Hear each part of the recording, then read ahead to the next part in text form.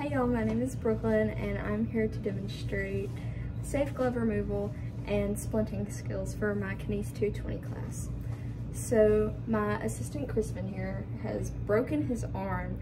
You can see we've got bruising going on. It's very starting to color up a little bit on us. So I want to get that taken care of as soon as possible. I have assessed the scene um, and made phone calls to EMS because I don't have anyone else here to do that for me. So I made sure to do it before I got started. So the first thing I'm gonna do is apply gloves. And this just ensures that if there are any open wounds on the um, break, that nothing comes in and harms Crispin and nothing comes out and harms me.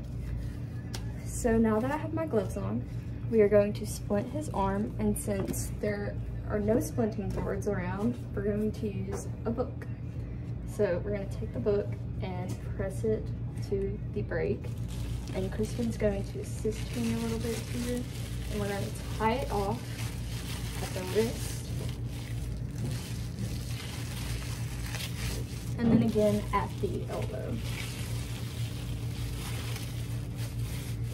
And if the tie off that secures the splint is too tight. Um, we can see that by his fingers either turning blue or he experienced a tingling feeling and um, he will also let us know. So Crispin, are you experiencing any of this right now? Is it too tight? No, it is perfect. Thank awesome. you. Thank you. And now we are going to sling his arm. And first thing I did with the sling was tie off one end of it so it acts as like a rest for his elbow. And essentially what the sling does is it keeps the arm elevated and not dragging down like it should be. So now we're gonna tie the sling around his neck and over his shoulder so that it stays in place and it is elevated. And the next thing we're gonna do is we're going to swathe it.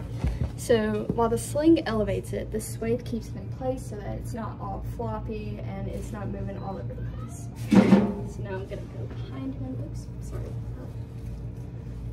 and just tie the swathe.